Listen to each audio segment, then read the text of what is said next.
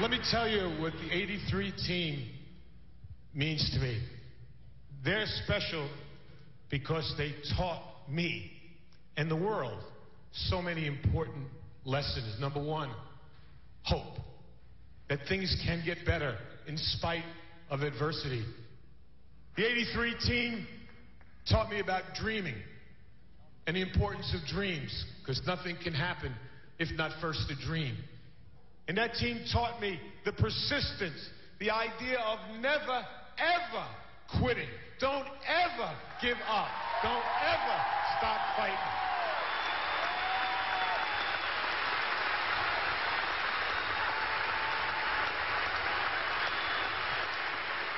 And lastly, what they taught me is to love each other.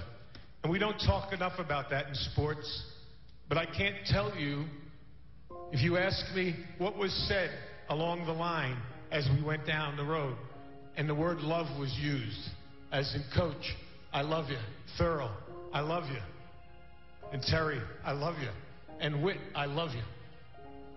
When you have a dream and you throw in that concept of never stop believing and loving in each other, and you can accomplish miracles.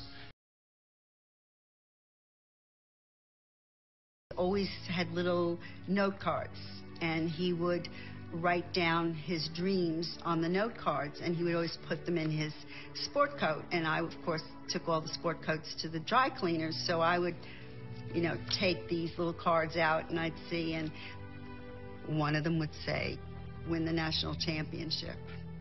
And the last one was beat cancer.